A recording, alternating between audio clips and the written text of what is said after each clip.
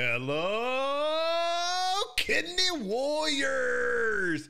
James here from Dadvice TV, your online kidney health coach, and this is another great episode of Dadvice TV Live.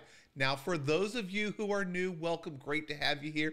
Let me quickly introduce myself. My name is James. I was diagnosed with stage five kidney failure many, many years ago, four years ago and I have worked on my overall health. That's not just my physical health, but also my mental health to help me manage my kidney disease and become very proactive in my care. And by doing so, I feel like I'm in control and I've been able to make a lot of improvements. So many improvements that people who see me can't believe that I was diagnosed with stage 5 kidney failure and told I would need a transplant and dialysis. And I never did any of those. Right now, I'm doing great with diet and everything else, working with my entire healthcare team to stay as healthy as possible. Now, tonight, we're going to be talking about one of the things that my doctor always asks me about. As a matter of fact, it's the very first thing that my doctor always talks to me about whenever I have an appointment. And those of you who are regular uh, viewers of Dadvice TV, you know exactly what my doctor always talks about first. It's James, how are you? How is work? How is the family? What stresses are you dealing with? You got any anxiety? We talk about all of that first before we start getting into kind of the nerdy stuff I like to call it, the labs and the numbers and things like that. Because managing stress, anxiety, and all that is so important to helping me stay positive and in control of the things that I'm managing with my disease. Now, today, to help us talk about this, we have a wonderful expert all the way over. She's still living in a wonderful place. You guys know Hawaii. Oh, I would love to be there right now. It would be great. But please welcome, give a great big giant Dadvice TV welcome, Lana Lipe. Hey, Lana. Hey everyone, it's good to be back. I'm happy to be here. it feels like it has been so long. It has been a little bit. It's been a very busy summer for you, for me, and I feel like everybody else. We've all just we blinked and it's over. yeah. Now, for those that are new, can you tell them a little bit about your background? Yeah, most definitely. So, I am a licensed clinical social worker. I have a background in community health. Um, I've worked in hospitals, nonprofit kidney agencies, um, skilled nursing facilities, and a, a, number of different places where um, the big focus is people's healthcare, chronic conditions, that kind of thing.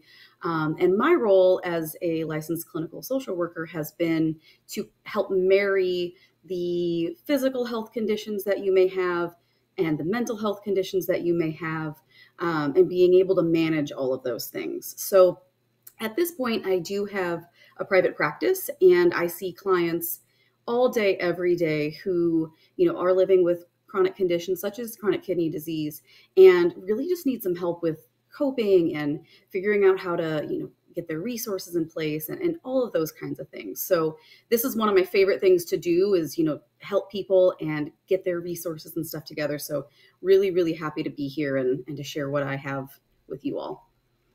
Awesome. And tonight we are going to talk about anxiety and some kind of thermometer. Yes. The anxiety thermometer.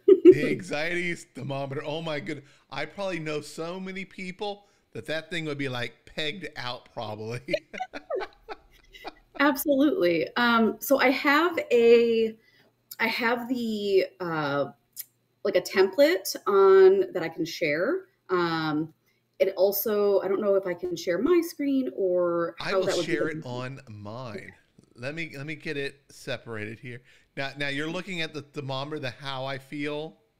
Yes. Okay. Yes. Let me bring that up here.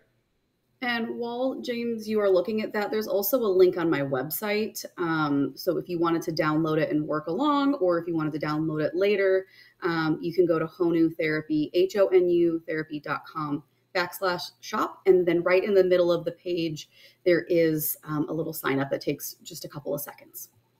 All right, now I think I can share. Oh, I know a couple ways to share this. What's going to drag it on top of the screen?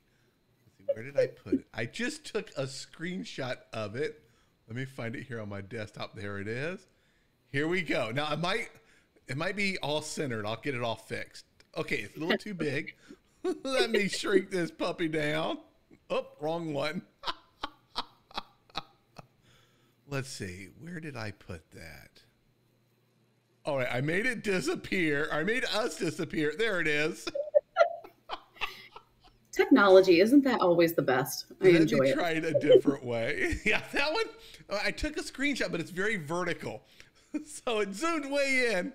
All right, let me go to da da da da. Or is is it on your website? That'll be easier. It is, yeah. All right, let me go to your website, and we'll bring that up. And go ahead and talk while I'm pulling this up. It might take Absolutely. So, so while James is pulling up the um, the anxiety thermometer worksheet, just to give you a little bit of background. So I actually use this a lot with my clients um, because anxiety is a normal part of life, and we experience it daily, I guess, to different degrees. Some people more so than others, and anxiety is such a, a big broad concept. So when i say oh i'm feeling anxious that can mean so many different things. It can mean so many different things any given day and it also might be different from maybe how you experience anxiety. So when i say that i'm anxious i might be overwhelmed and i may not be able to know in the moment what it is that i'm feeling maybe what brought the anxiety on and then what I can do to help bring that anxiety down. Um, so I know if you go online and you you know type in ways to calm anxiety or how to you know manage anxiety, there's a number of really really great ideas out there. Um, but they're not always something that you would want to do. Maybe it's not something you have uh, the ability to access. And then it also might not be something that is applicable in the moment. So when James pulls up the thermometer, it So will. I'm having show- trouble finding that. I, I'm on Oh, your I'm so website. I'm so sorry. Here, let me get it. Hold. Up. Hey, this shows everyone we're live. Yeah, you know, Yeah. it's it's the nature of it, and it happens, and we will Well, Get it sorted. Well, this will help them know how to find it too. Absolutely. So, if you get on my website, Yep. go to honutherapy.com Uh-huh. and then go over to um, resources all the way on the right. It should be Yeah. up in the top right corner. And then there's a drop down and it's under stuff I love. I did not you- look there. I wasn't clear in my direction. if you if you click on stuff I love, I found. Oh wait, there it is. Oh, I put in my name.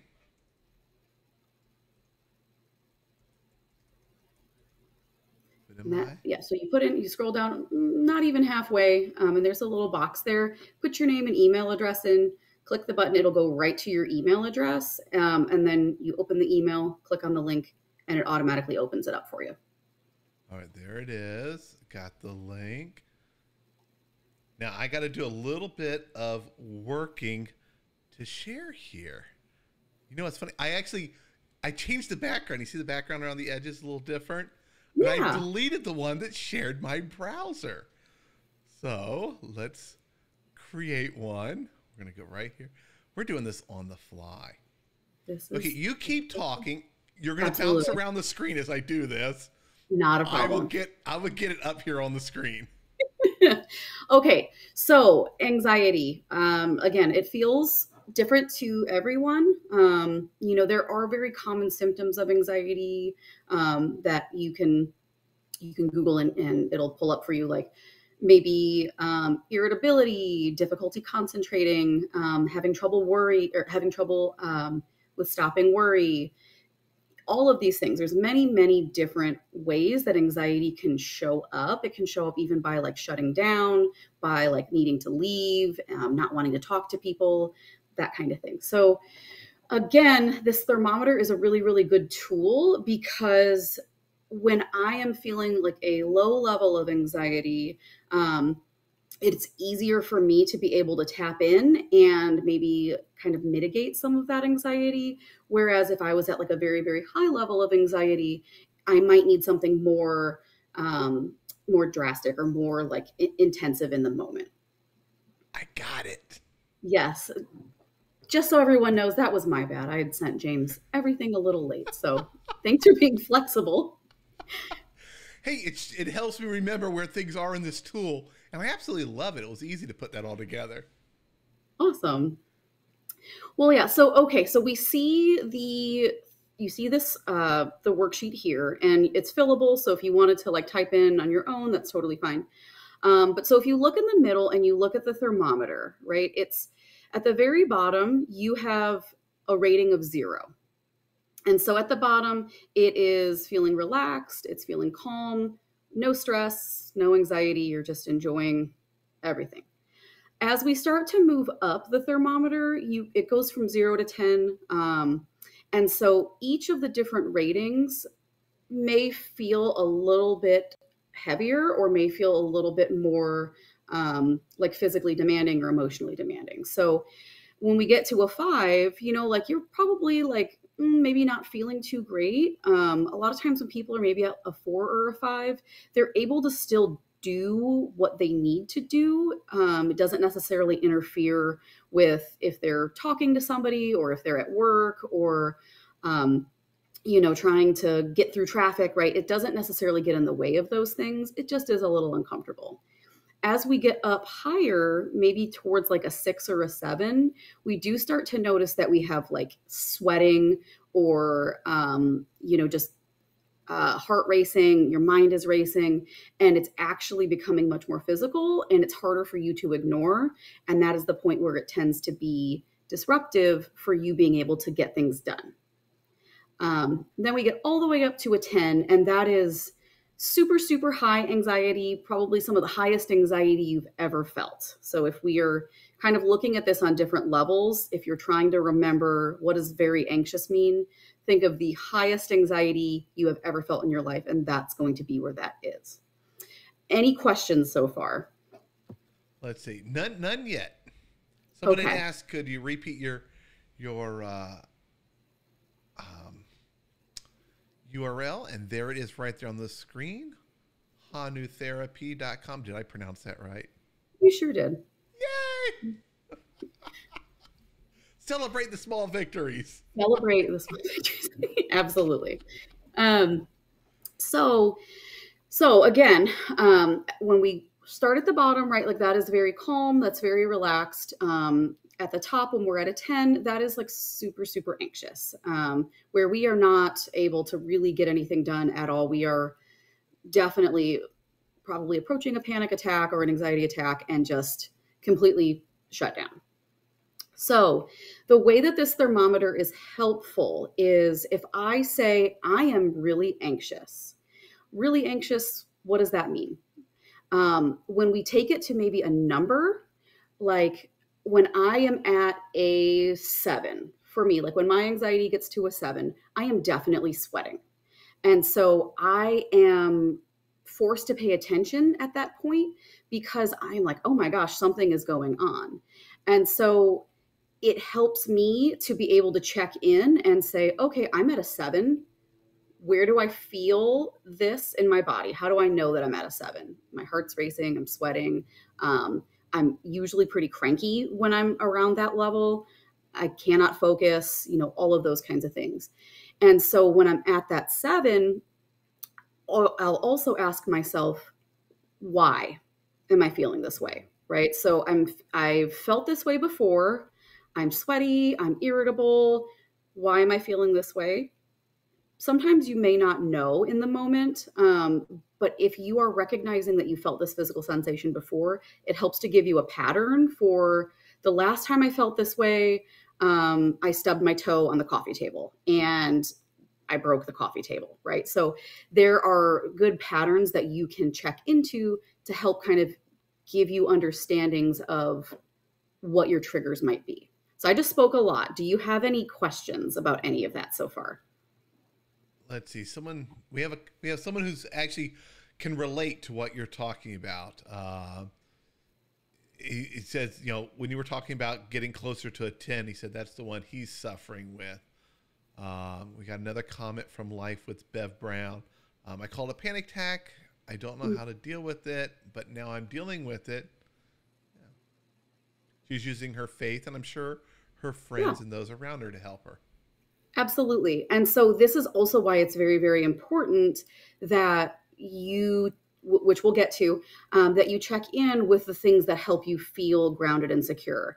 And so for some people, that is going to be their faith, um, their spirituality, you know, their connection with like a higher power or, you know, with um, energy, that kind of thing. Like everybody is, is different. And then for others, it's going to be something that is completely different. So I'm glad that you have something that you are able to tap into, um, and we will definitely come back to that. Um, okay, so I don't see any questions so far, um, so I hope that means that I'm making sense.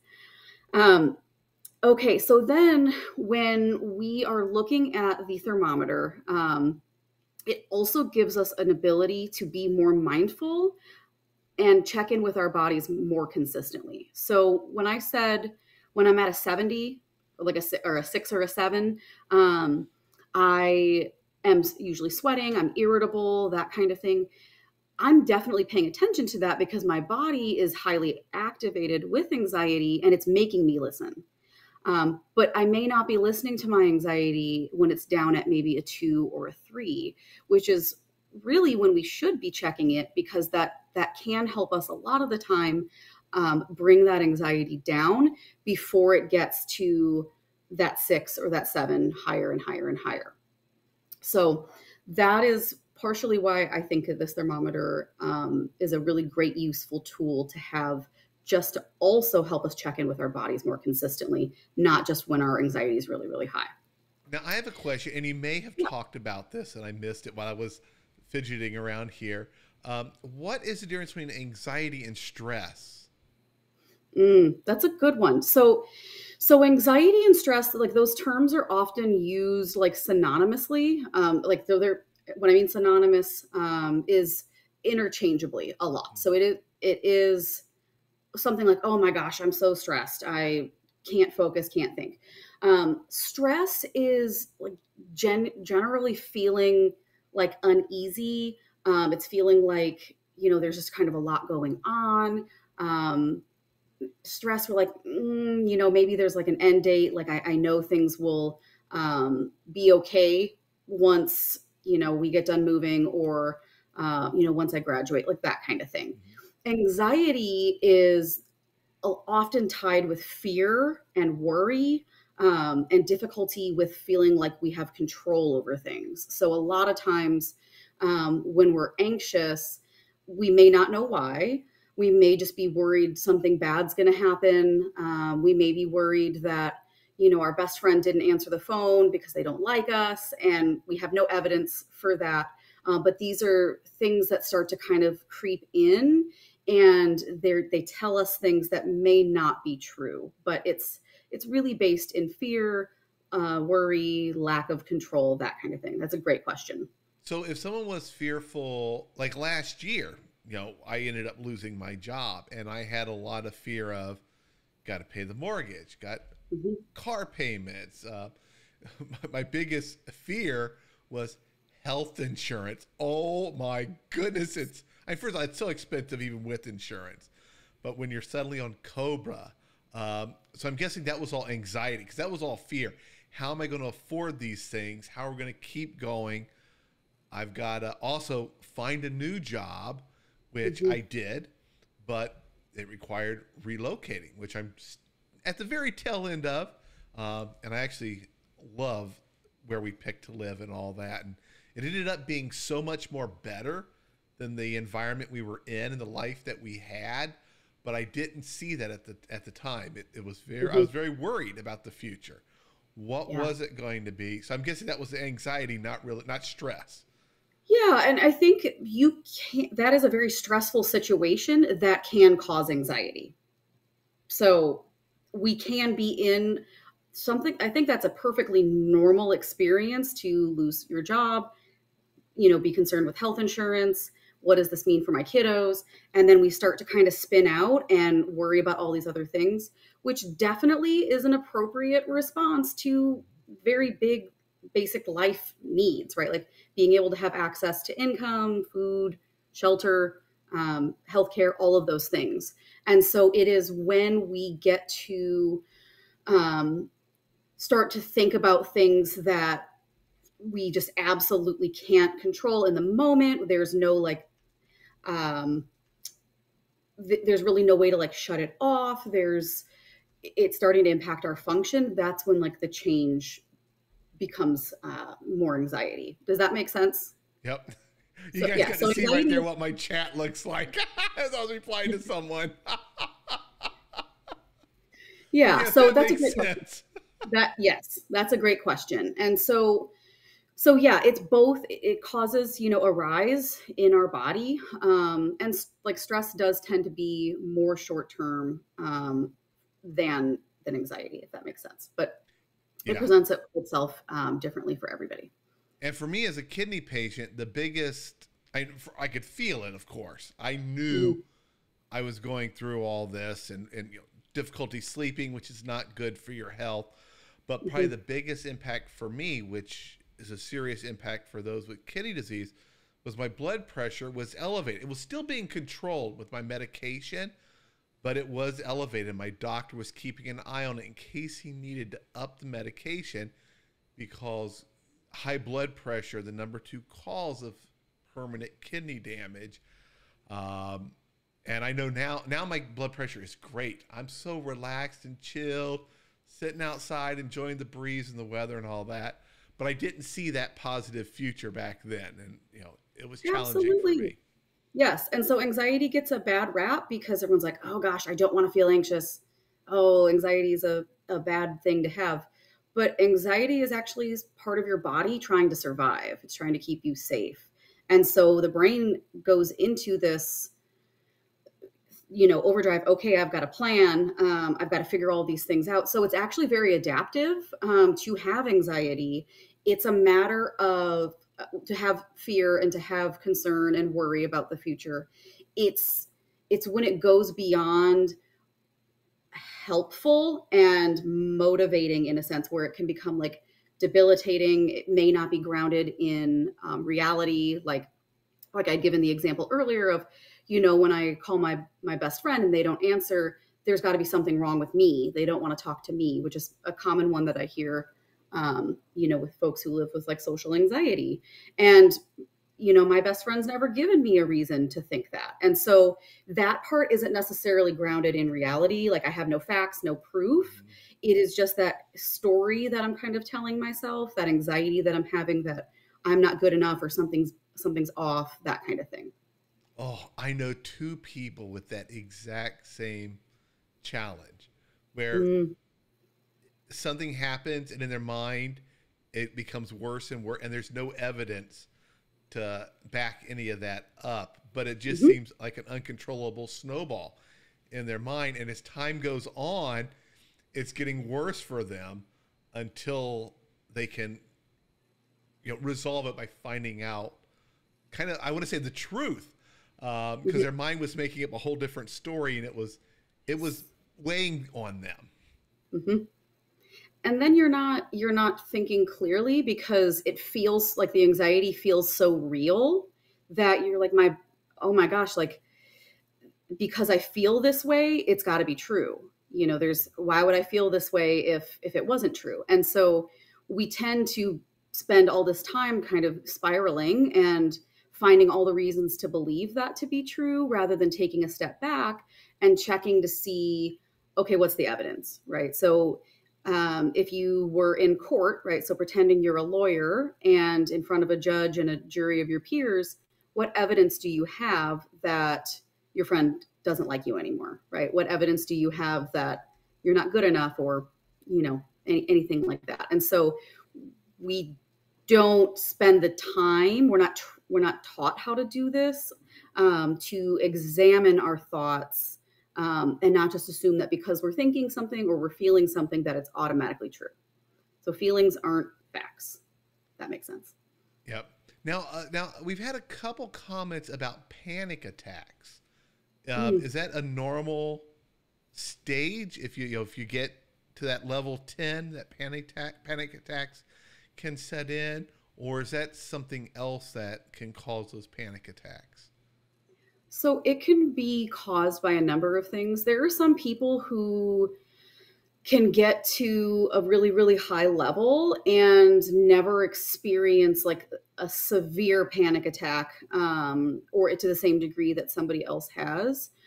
And there are others who it it just comes on um, and that's it goes zero to 100 every single time and by that point your body is, is shutting down so it's it's the body being at its most extreme form um, and responding to some type of stress that it is trying to get back to homeostasis. It's trying to get back to um, to being safe and to um, being calm. So if you are having a panic attack there's no ignoring that right? You're you may be breathing heavily um, some people get like really nauseous. Some people have like um, upset stomach and other stuff like that that happens.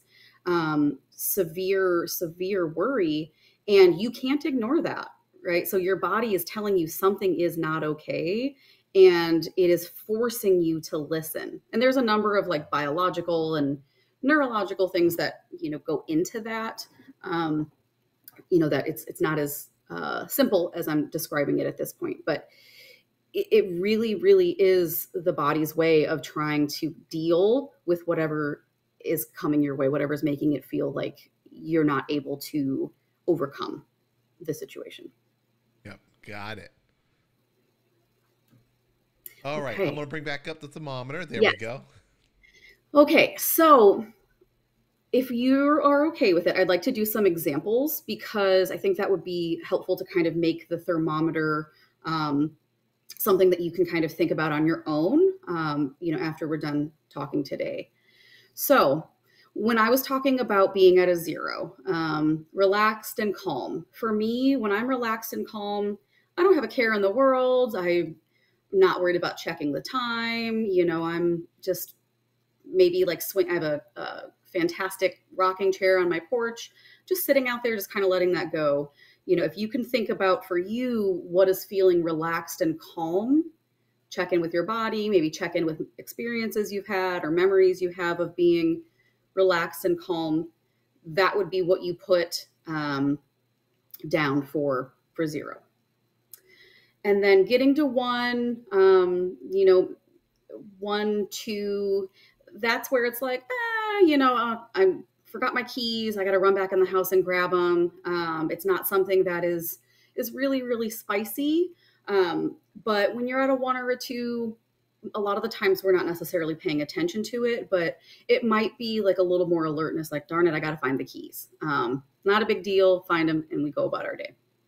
Um, as we get up to like a three or a four, um, that is getting to the point where um, you are noticing maybe a little bit of, of worry or anxiety, um, not necessarily like sweating or having any physical symptoms, but you're able to still kind of move on. Um, maybe running a little bit late and you are behind on a deadline and you recognize that you've got to get it in but you're not um, it's not stopping you from getting it done it's it's like okay we've got to focus got to get this taken care of um, any examples you can think of of maybe being at not at like a pretty high level of anxiety but like a where you've been stressed to the point where it's not interfering with your function um, but you're maybe noticing it a little bit? So Tyrone here mentioned one that causes anxiety for him that almost everyone listening has, and it it it's borderline interrupting, and it is waiting for lab results. No matter what, I know my labs are going to be fine when I go in and I they draw the blood, but waiting for those results to come in on my phone, and if it's a Friday, you're like, oh no, I don't get the results till Monday yes your mind starts going, what if, what if my B, what if this number's up? What if this number's down? Uh, What, uh, what if that dropped? What does that mean? And you think about it. you start to worry about it constantly Yes. in the back of your mind. Even I've even watched entire TV shows, and and I like to think of myself as so calm, but I'll watch entire TV shows, and I do not remember one thing about it because all I was mm-hmm. doing was thinking about it and what all, what have I done in the last week? Oh, yeah, I mm-hmm. shouldn't have ate that. I know. Oh, darn it! Why did I eat that? I should have got into walking more. I did. I'm not walking enough. All that is going on in the back of my mind, and I would say that to me, that sounds like I'm in that. I'm on the borderline of it interrupting my mm-hmm. activities. It's still kind of in the back, but it is starting to interrupt things. I, I uh-huh. go, I drive places, I don't remember anything. I'm like, did I did I stop at that stop sign? I must have, but I don't remember it because I'm. It's just happening, and I'm thinking about it. But I think most people here, yeah, we have Kelly says, me too. I think all of us, um, yeah, we got Sydney says the same thing. This is something for kidney patients that kind of gets us in that middle to just a little over. Okay, and that is a really, really great example. So I, if we can continue to use that going forward, I think that would be really helpful. So, so the reason why I stopped at like a three and a four instead of continuing to go on is because again we may we may have an awareness you know i've got some something really stressful coming up you know i don't know about my labs you know so that's like that anticipatory anxiety where you're waiting um, and you don't know it's kind of out of your hands and so if you're having that low level of anxiety you know of being under a five that's probably not something you're necessarily focusing on. And so when you become really snappy and cranky and irritable, and you find yourself being at a seven, um, you're how did I get here? Why am I so cranky? Why am I so irritable? But that is a lot of the times because we already have some anxiety going on in the body that we are not able to maybe notice, we're not able to pay attention to.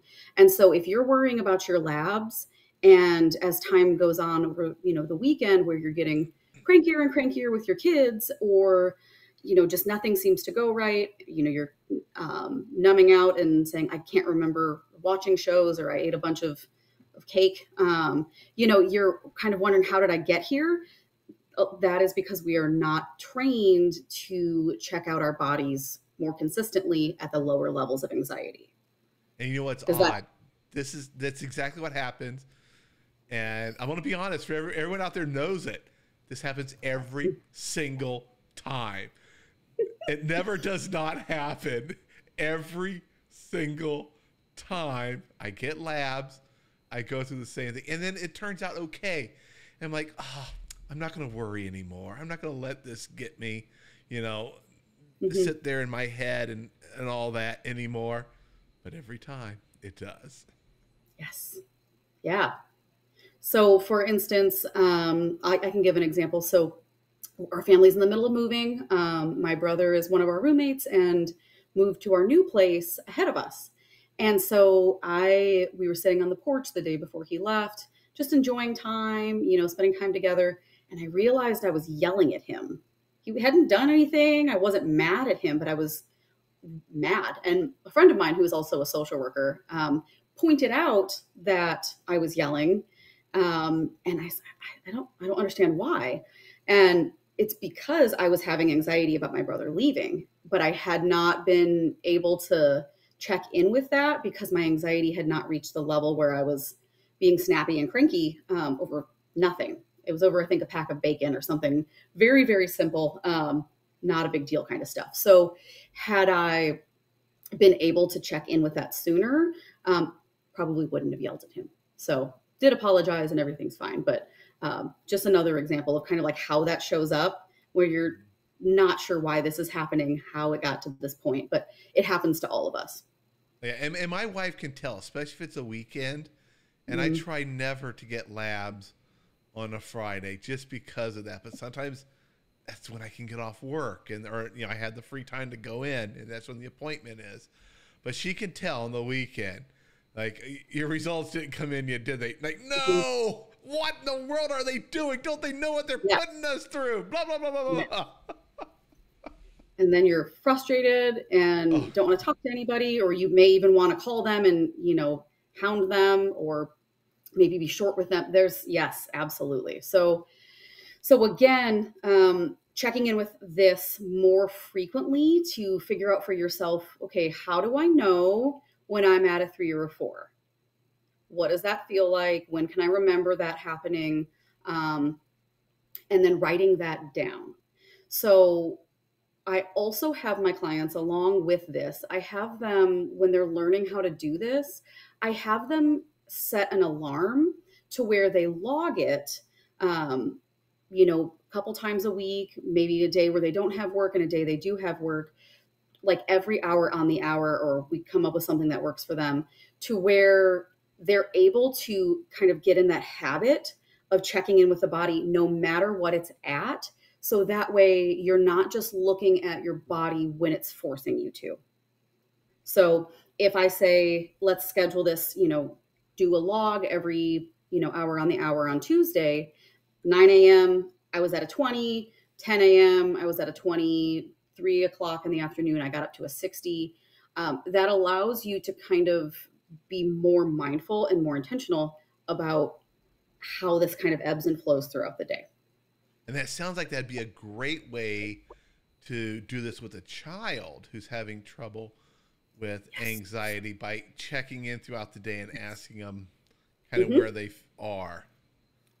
Yeah, and for for kiddos, um, you can do something like this. They have a number of these kinds of thermometers online for kiddos that are um, maybe have like emojis on them, or those when you go to the doctor and it's got the the different Yeah. faces where it's like sad, you know, super crying, happy, that kind of thing. They have a number of really good ones, and so what you can do is you can um, have them label like primary emotions. Um, you can do this with other emotions other than anxiety, but you can do this with um, I'm feeling maybe kind of scared or kind of worried or kind of nervous. I'm feeling really nervous, um, that kind of thing.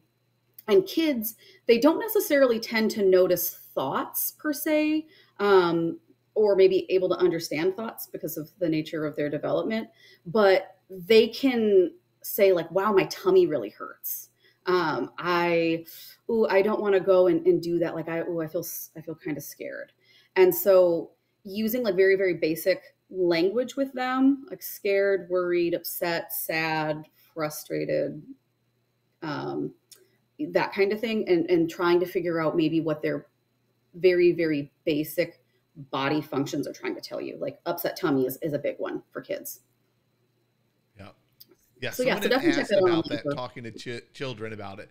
And when you just explained that checking in in a diary, it clicked. Aha, that sounds like Mhm. a good way to do this with children.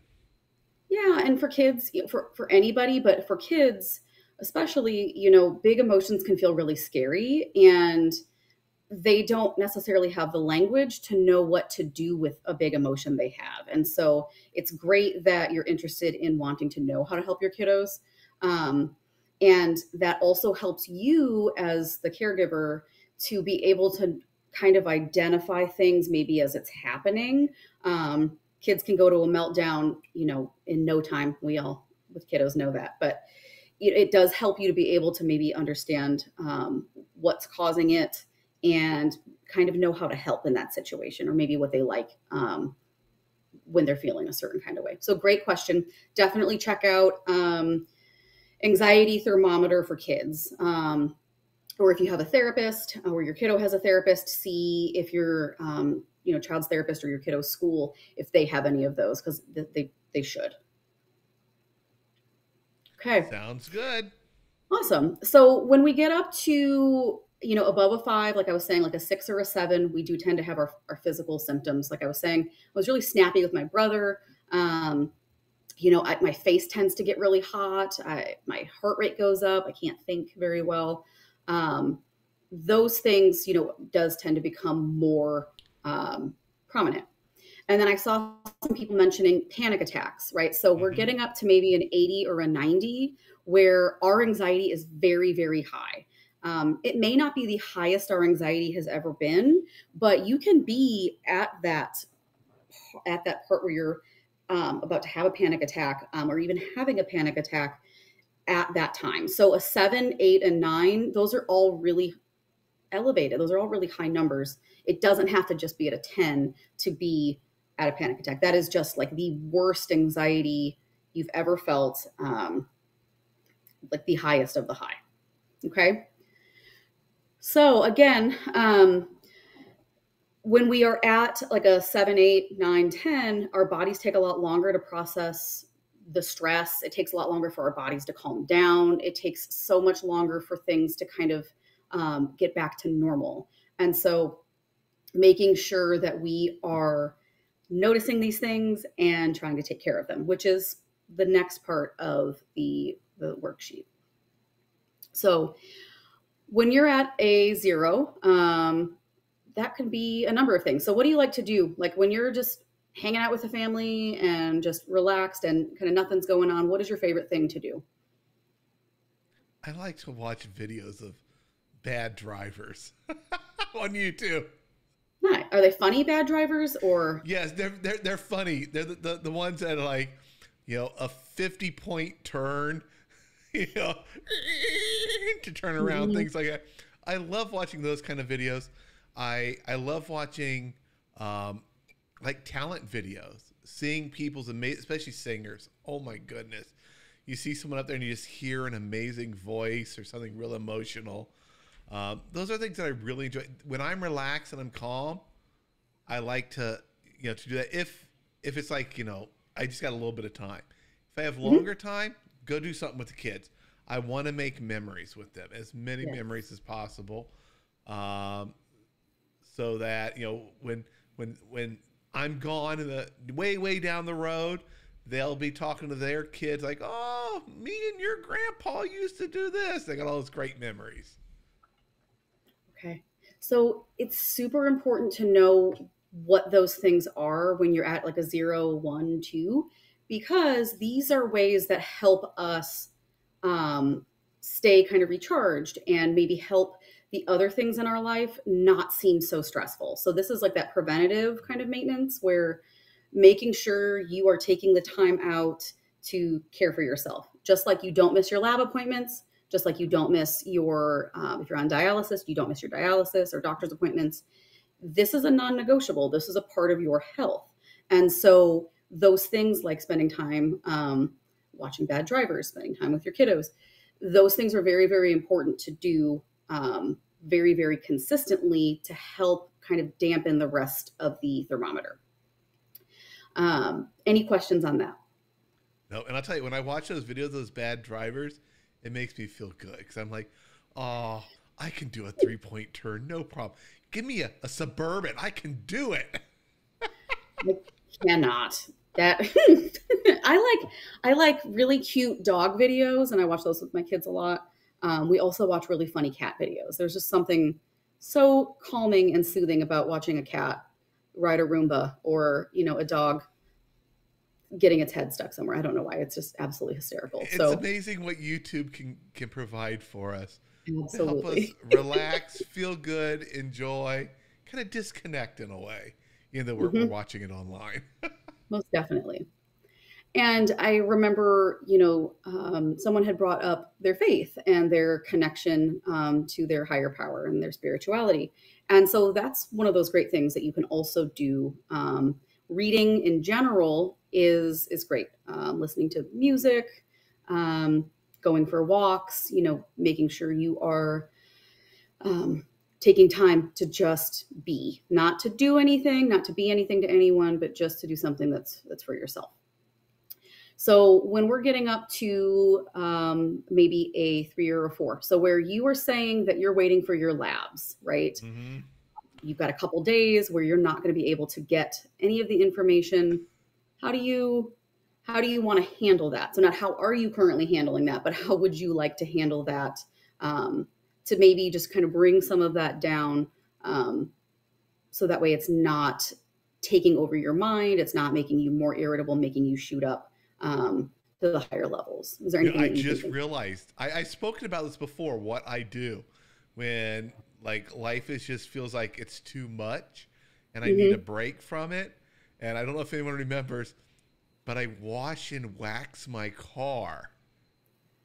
It is so because I love having a clean car, and mm-hmm. you, it's not easy to wash and wax a car. It takes a lot of attention, and I forget about everything. I'm disconnected mentally. Um, I don't worry about my my labs. Um, I just did this like two weeks ago. and I was like, you Mr. Miyagi the situation. Yeah, I, I had waxed my car like a week before. And I'm like, okay, you know what? I'm going to just wax it all again. And I just did it all. and that is, and I didn't, I, I know that it's my stress reliever is to mm-hmm. do that because then you're, you know, it looks so good. It's shiny. It's clean. I can see that, that I've accomplished something. Um, yes. And it's the feel. It's just, oh, everything. You touch the door handle, you feel that. So for weeks, I'm still enjoying it. Uh, but that's what I do when, you know, if there's a weekend and I'm waiting for my labs, I will get out my hose. I have a special hose, everything. I have all the right stuff. And I'll set it all up and I will wash and wax my car. And for a couple hours, I am super happy mm-hmm. and mm-hmm. carefree that's a great example of using distraction um, because you are giving yourself something that you know how to do, right? You're not having to learn something new. You're not having to um, really go through a lot of problem solving because you know how to do this. And so you can kind of, I don't want to say like turn your mind off per se, but you're able to get out and physically move which is great for anxiety. Um, you're outside, so hopefully the weather isn't, you know, super junk um, when you're walks, washing and waxing your car, but you're able to move. You are doing something that helps you um, feel accomplished without it having to be something that is is for somebody else. It's entirely for you. So I think that's great. And I will say what about when it's wintertime, right? So you live in the Midwest and we know the Midwest gets snow. Is there anything that you can do with your car um, when it's snowy out if you're not able to? I still do that. I'll do it you inside. Do. yes, I will do it all inside. Uh, I am. I just absolutely love doing it because of you realize all the shapes of the car that you mm. thought you knew but you don't and it's so engulfing but it takes no effort yes. to do it and the mm-hmm. results mm-hmm. are instantaneous i do one little panel and then i just touch it gently and it's like oh you just feel that smoothness uh, but i'll do it inside and i even have gone to do it yourself car washes just to wash my car and i'll take a bucket and mitt and things like that because uh, they've got hot water even in the winter. I'll be out there doing it. Um, it is just so so relaxing. I know it probably sounds really odd to a lot of people. No. They're like, "That's a chore," but for me, it is. It just the you're. I'm accomplishing something, and I love the way it looks, all glassy. Um, and if if there's you know is a spot on there, a little bit of tar or something, I got my chemicals. I'm out there. I'm getting them. I'm doing them. I'm inside. I'm using Q-tips and everything. If if I paid somebody to do it, they would probably hate it. But it's something that I love doing, and you know, it's just it is so relaxing, and it is my go-to. If someone sees me, and you, any of you guys ever drive by and you're like, you see me because my car's got my branding all over it, Dadvice TV. You see me out there washing and waxing things haven't been going great and I, I need a break. That's what I'm doing. and you can say hi. I'll be I'll be all happy and everything because I'm in my own world. It's it's mm-hmm. you know what? I can control it. I'm sitting here. I'm doing it. I'm going one panel at a time. I plan the order I'm doing it. I'm in control. That's probably a big part Absolutely. of it. Absolutely. Absolutely. And I was just going to say that it is very in the moment. So anxiety is a lot of being in the future. Okay, what are my labs going to say? Um, you know, what happens you know, two months down the line when I lose my job or, you know, that kind of thing. So anxiety is very much in the future. And this is allowing you to very much be in the present and to control what you can, especially when there are so many things in life that we can't control, right? So waiting to see, you know, what's going to happen with your insurance, waiting to see, you know, how all the the moving stuff kind of gets sorted out. You know, there's there's so many different things that are out of your control and being able to be in that present moment and control like what you can um, very much allows you to feel um, much more grounded, much more centered. So that's a fantastic example. Yeah. Oh, it is funny. It all clicked as we're talking. It's like we're having our own little therapy session here. Uh, it's all clicking in my mind. And when you were starting to, I was like, oh, I know what I do. I, I know how I handle this. Mm-hmm. Watch and wax my car. yeah, Sydney Absolutely. says she likes cutting grass. Hey, Sydney, come on over. I got a lot of yard, 0.7 acres. I hate cutting grass. But my wife, it relaxes her. She doesn't want a mm. riding lawnmower. She gets out there, puts on her music, goes with the, her, her playlist, and walks the lawnmower and mows the yard. There's the smell of the grass. There's physical movement. Um, you know, being outside and getting fresh air. There's those delicious lines you get when you go back and forth with a lawnmower that are just so satisfying. You know, there's many, many things that you can appreciate about that. Um, so it is quote unquote productive to cut the grass, but it is very much going at your own pace, your own time, um, and and doing it for you. So I love that. That's fantastic. Yeah, she, she um, agrees. Push mower. push mower. I can't. Oh, when we say push mower, we mean electric, or do we mean the old school type where you have to go back and forth? You know, talking is, about the ours is old, old school. Ones? I don't know what hers is. The batteries are too heavy if you have a hill for an electric one. So you have so your wife does the the one where it's just the metal. There's no engine or motor it, in it. Is that what no no no no no no no? There is a motor. There is an engine on it, and it does rotate the wheels. You know, it's got okay. four wheel drive. All four wheels spin all by themselves, but you're squeezing it for how fast you want it to go, and you're just wa- you're just steering it. That's all you're, you're walking and steering. You're getting in a lot of steps. Absolutely. And being productive. And being productive. um, okay, so it seems like that makes sense to everybody, kind of where we're at there. Um, as we start getting up to a higher level where maybe we are starting to have like physical symptoms happening. Um, there are a lot of really cool things that you can do, and there's science behind it, and we could talk forever about the science. Um, but when our anxiety is really, really high, uh, or we have anxiety in the body, it's it's again trying to find a way to be safe. Um, a lot of times we step out of our body, we're not focusing, we're focusing on the future and all the things that need to get done that we can't control. So, a really, really great one is ice. So, grabbing ice out of your uh, refrigerator or your freezer, rather, um, holding it in your hands over your sink um, so you don't slip and fall, and just holding onto the ice as long as you can. That's a great one because it um, it slows the heart rate down. It makes you focus on what's happening to your body, and it allows you to come back into your own mind, into your own center, and it actually shuts off all of those uh, or, or uh, simmers down all of those like racing thoughts or any of the physical symptoms that you're having. So you can hold ice.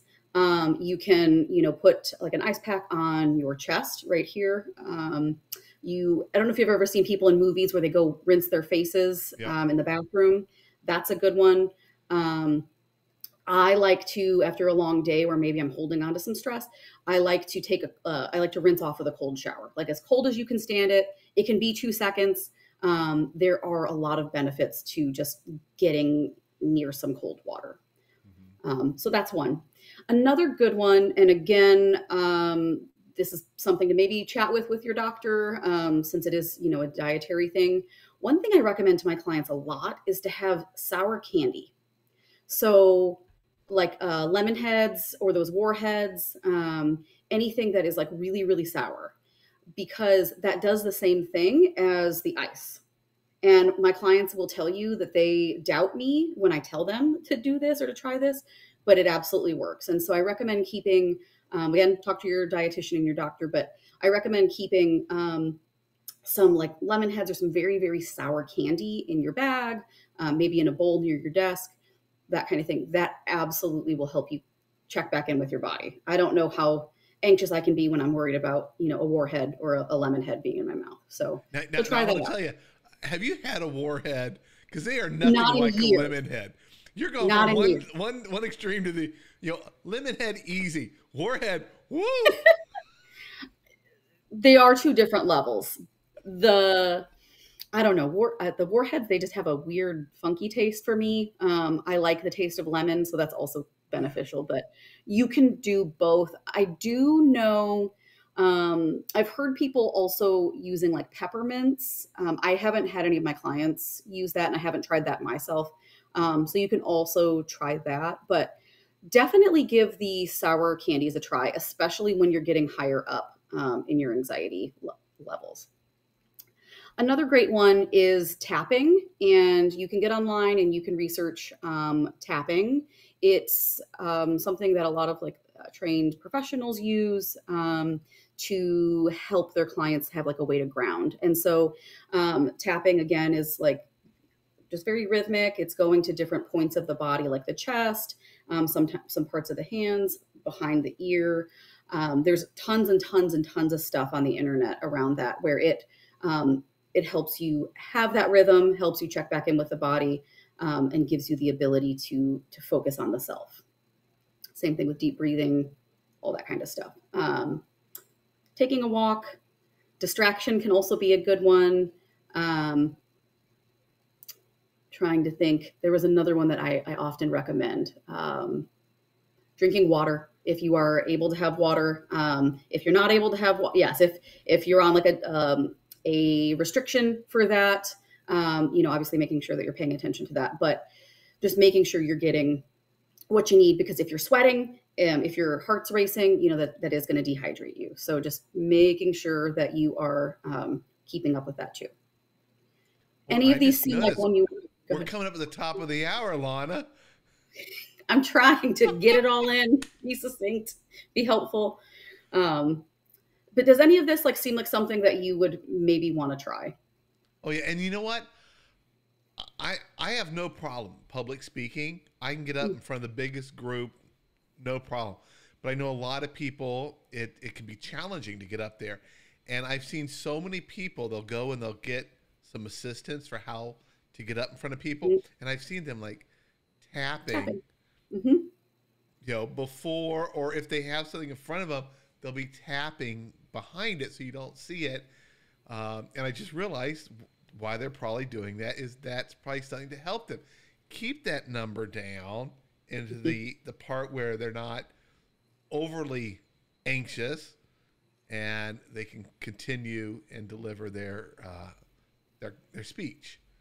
Absolutely, and it's really important that you have multiple things to do because you may not have access to um, lemon heads in the moment, right? Or you may not even be able to have lemon heads. Or something that reduces your stress is listening to Metallica or something one day, but maybe Metallica is not helping you feel calmer another day. So having a number of different ideas and options is really important because it may not always be accessible, may not be feasible, you may not be interested in that. It may be winter and so going to the beach as your stress relief is not a possibility, you know, that kind of thing. So, um, so I recommend when you're completing this to save it somewhere um, and bring it with you. So that way, if your anxiety does shoot up, um, you can have it as a screenshot on your phone.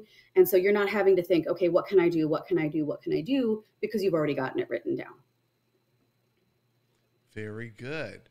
Well, we are at the top of the hour, and I feel like I got a nice little a therapy session here. We talked a lot about my my amazing car cleaning and waxing skills. but I'll tell you, anybody I out there, it is amazing how therapeutic that can be. Something like that, that it does not sound fun, but if I'm stressed, let me go get my stuff. Let me go take care of my car, and I'm going to come back stress free, and uh, I won't be nipping at people anymore. Mm-hmm. We like a happy James. we yeah, like a calm, relaxed. All right, so we have a link to your website where people can learn more, and this has been a great talk. And maybe at our next conversation, you will be the one who will have moved and have a new home like I just finished doing. Fingers crossed. Fingers crossed. All right. Thank you so much, Lana, for being here. And thank you, everyone, for joining us. And I don't know when the next video will be. I got to get all the schedule reworked with everyone, kind of ramping things up here. But it'll be not too long, and I'll post it on dadvicetv.com as well as the Facebook channel. And thank you all again, and I will see you all in the next video. Bye, everyone.